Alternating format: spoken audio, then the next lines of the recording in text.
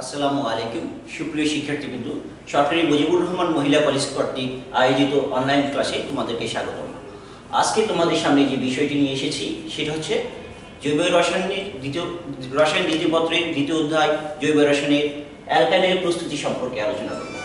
তো আমরা অ্যালকাইনের প্রস্তুতি সম্পর্কে আলোচনার আগে প্রথমে যে বিষয়গুলো জানব, সেগুলো একটু খেয়াল করে দেখি। আমরা আগেই জানি অ্যালকাইনের সাধারণ সংকেত সিএন এইচ টয়েজেড মাইনাস টু যাদের কার্যকারী মূলক single bond carbon carbon triple bond single bond অর্থাৎ কার্বন কার্বন ত্রিবন্ধন থাকবে।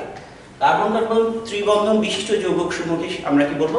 অ্যালকাইন তো আমরা এর আগে শিখেছিলাম অ্যালকিনের প্রস্তুতি অ্যালকিনের প্রস্তুতি এবং তাদের রাসায়নিক ধর্ম। আজকে আমরা যে বিষয়টি শিখব সেটা হচ্ছে অ্যালকাইনের প্রস্তুতি। তো অ্যালকাইনের প্রস্তুতির বিষয়ে আমরা একটা জিনিস মাথায় রাখি। পরীক্ষাগারে আমরা অ্যালকাইনের প্রথম সদস্য অ্যাসিটিলিনের প্রিপারেশন দেখব। আমি বলছি অ্যালকেনের প্রথম সদস্য অ্যাসিটিলিন যাকে আমরা অন্য আরেকটা নাম জানি, সেটা হচ্ছে ইথাইন। তো ইথাইন প্রস্তুতির আগে দেখো, আমি একটা ফিগার লিখে দেখিয়েছি। এই ফিগারটা দেখো, কীভাবে প্রস্তুত করা হয়, তার একটা বর্ণনা আমি এখন দিচ্ছি। তো মূল নীতিটা কি? মূল নীতিটা হচ্ছে, এরকম একটা বোতল ফ্লাক্স নেব, তার উপরে হচ্ছে বুলেট দেব। এছাড়া হচ্ছে একটা দুইমুখ আলা বোতল এবং পানির নিম্নমুখী অপসারণ দ্বারা আমরা কি করব? অ্যাসিটিলিনে বের করব। তো আমরা মূলনীতিতে কি করব? যখন উপর থেকে ফোটায় ফোটায় ক্যালসিয়াম ক্যালসিয়াম কার্বাইডের মধ্যে, এটার নাম কি?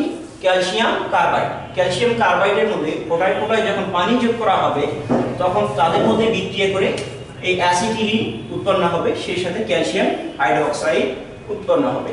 আমি আবার বলছি, ক্যালসিয়াম কার্বাইডের মধ্যে যখন উপর থেকে ফোটায় ফোটায় পানি যোগ করা হবে, এখানে ক্যালসিয়াম কার্বাইড আছে, বিক্রিয়া করে অ্যাসিটিলিন গ্যাস উৎপন্ন হবে সেই অ্যাসিটিলিন গ্যাস দ্বিমুখওয়ালা একটা বোতলের মাধ্যমে গিয়ে, বিশুদ্ধকরণের মাধ্যমে গিয়ে আবার সেটা কি করবে? সংগৃহীত হবে। তো আমরা সেই বিষয়গুলো দেখি। এখন ক্যালসিয়াম কার্বাইডকে আমরা আরেকটু আলাদাভাবে লিখি, দেখি কেমন দেখা যায়। যে ট্রিপল বন্ডটা কেমন করে আসলো, সেটাকে আমরা একটু ক্লিয়ার করি। দেখো, এখানে কার্বন কয়টা? দুইটা, এক, দুই। এই যে দুইটা কার্বন দুইটা, আর হচ্ছে ক্যালসিয়াম।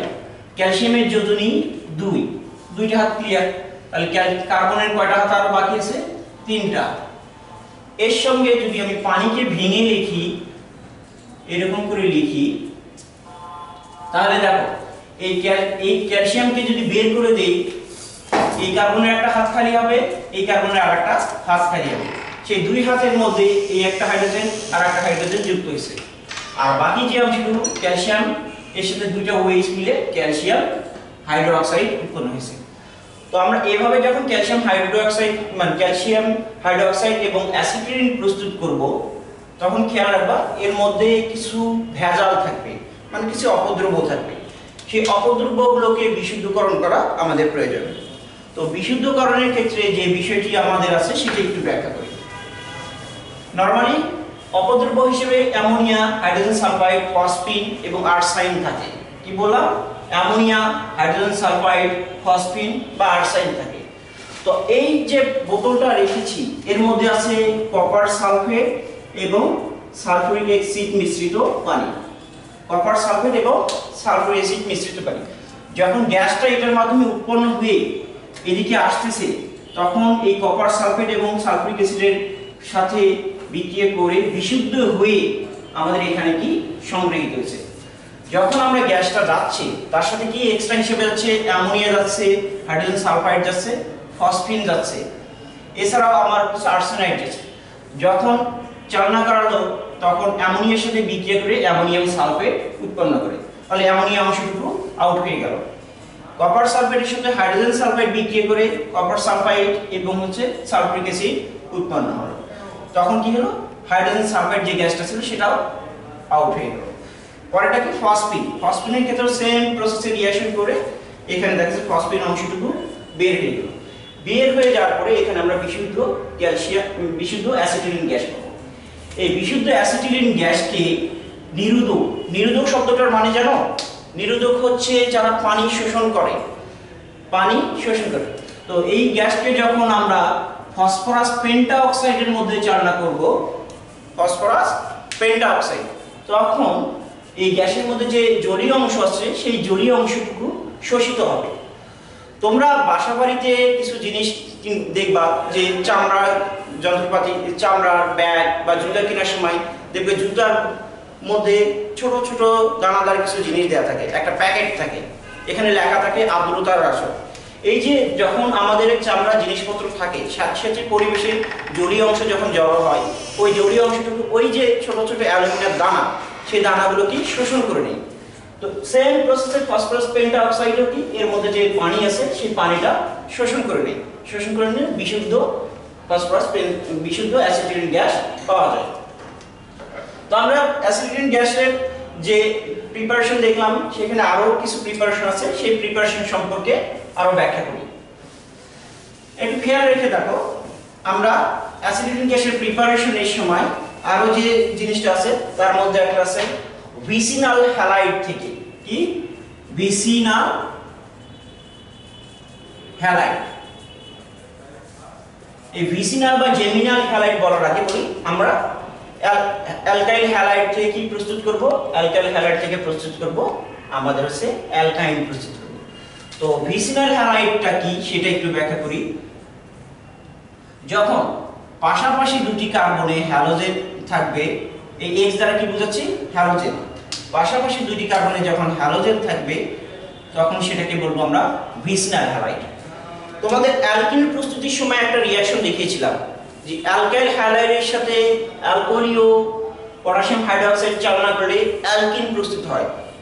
কিন্তু এখানে যখন দুইটা হ্যালোজেন থাকবে, তার মানে কি? তখন কি আসবে? অ্যালকাইল হ্যালাইডের সাথে। অ্যালকোহলিও যদি পটাশিয়াম হাইড্রোক্সাইড চালনা করা হয়, তাহলে অ্যালকাইন উৎপন্ন হবে। তাহলে কে ও এস আর কি দ্রবণটা? অ্যালকোহলিও এই যে একটু খেয়াল করে দেখো, এই অংশটুকুকে এই সেক্স এই সেক্স হচ্ছে না, সেটাকে আমরা অ্যালকাইল হ্যালাইড লাইক এটাকে যদি হ্যালোজেন এক্সের পরিবর্তে বি আর লিখি, তাহলে কি? হাইড্রোজেন ব্রোমাইড অ্যাসিড হচ্ছে। সেম আজ এই অংশটুকুকে একটা অ্যাসিডের মতো মনে হচ্ছে না? দেখো, সেটাকেও যদি আমরা ব্রোমিন ধরি, তাহলে কি? হাইড্রোজেন ব্রোমাইড এখন যেহেতু এটা অ্যাসিডের মতো হচ্ছে, এটা অ্যাসিডের মতো হচ্ছে, আর এটা ক্ষার আছে, তাহলে বিক্রিয়া করলে কি উৎপন্ন হবে? লবণ এবং পানি। তাহলে K B K X plus পানি। তাহলে এই হাইড্রোজেন চলে গেল, এটা চলে গেল, এটা চলে গেল, এটা চলে গেল। কয়টা হাত খালি হলো? এই কার্বনের দুইটা হাত খালি এই কার্বনেরও দুইটা হাত খালি তাহলে আমরা লিখতে পারি আর ট্রিপল বন্ড সি এইচ এই যে যে জিনিসটা পেলাম, সেটা হচ্ছে অ্যালকাইল তো আমরা যদি অ্যাসিটিলিন প্রস্তুত করতাম, তাহলে কি করতাম? অ্যাসিটিলিন প্রস্তুত করতাম, তাহলে কি করি? সেটা একটু দেখায় অ্যাসিটিলিন প্রস্তুত করতে চাইলে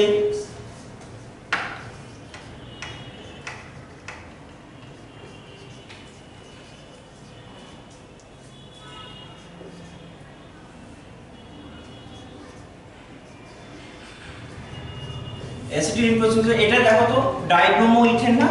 One two dibromo ethane. এটার সঙ্গে যখন পটাশিয়াম হাইড্রোক্সাইড চালনা করতেছি, তাহলে আমার কি? অ্যাসিড অ্যাসিড বিক্রিয়া করলে কি অ্যাসিটিলিন উৎপন্ন হচ্ছে, সেই সাথে কেবিআর লবণ উৎপন্ন হচ্ছে এবং পানি উৎপন্ন হচ্ছে। এটা যদি বেসিনাল থেকে হয়, তাহলে জেমিনাল থেকেও সেম প্রসেসে যাবে। জেমিনাল হ্যালাইড থেকে। জেমিনাল হ্যালাইডটা কি? একই কার্বনে দুটি হ্যালোজেন থাকবে। কি থাকবে? একই কার্বনে দুটি হ্যালোজেন থাকবে। তাহলে এখানে আমি বিআর দেই। তাহলে এখানে এইচ এবারও খেয়াল করো, এই দুটা মিলে একটা অ্যাসিড এই দুটা মিলে একটা অ্যাসিড তাহলে আবারও সেম প্রসেসে রিঅ্যাকশন হচ্ছে। এটাকে তখন আমরা বলব জেমিনাল ডাইহ্যালাইড থেকে। জেমিনাল ডাইহ্যালাইড থেকে। তো এখন যদি আমি ইথাইন প্রস্তুত করতে পারি, এই হাইড্রোজেন সরে যদি আমি আরেকটা জিনিস দেই, মিথাইল গ্রুপ যুক্ত করি, তাহলে এটা কি প্রোপাইন হয়ে যাবে না? তিন কার্বন বিশিষ্ট। আর একটা অ্যালকেন হচ্ছে। এভাবে আমরা কার্বন চেইন বাড়াইতে পারি। কার্বন চেইন বাড়ে আমরা কি করতে পারি? অ্যালকাইল মানে অ্যালকাইন প্রস্তুত করতে পারি। এটা প্রোপাইন হচ্ছে সেম প্রসেসে আমি আরও কার্বন চেইন বাড়াই, বিউটাইন, পেন্টাইন, হেক্সাইন, হেপটাইন সব প্রস্তুত করতে পারব। এবার আর একটা জিনিস আসি, সেটা হচ্ছে টেট্রা হ্যালো অ্যালকেন থেকে। কি থেকে? টেট্রা হ্যালো অ্যালকেন থেকে। Tetra halo alkane tetra halo alkane মানে কি? কয়টা অ্যালকেন থাকবে? চার সরি হ্যালোজেন থাকবে চারটা। তাহলে এক, দুই। এই পাশে একটা হাইড্রোজেন এই পাশে একটা হাইড্রোজেন এখানে দিই x x x x, চারটা হাইড্রোজেন এর মধ্যে দিয়ে যখন জিঙ্ক চালনা করব, কি চালনা করব? জিঙ্ক তখন আমাদের যে জিনিসটা আসবে, এইরকম অ্যালকাইন বা অ্যাসিটিলিন প্রস্তুত হবে।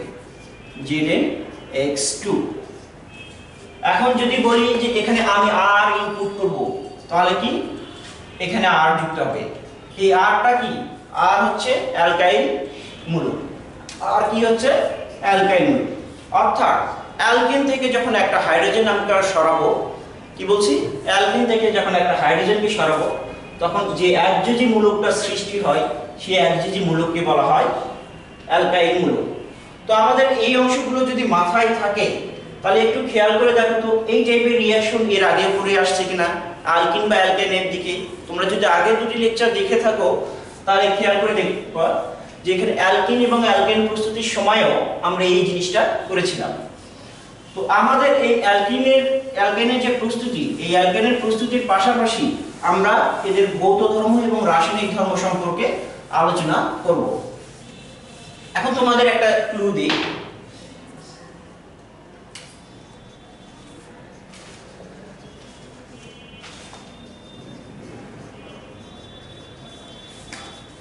ওয়ান টু ডাইব্রোমো ইথেন থেকে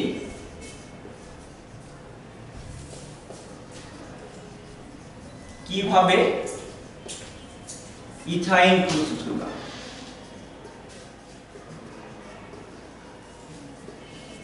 করবে।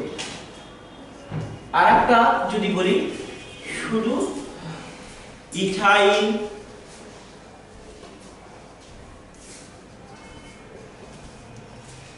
ক্লোরাইড থেকে অ্যালকিন প্রস্তুত করবা। কি করবা? অ্যালকিন।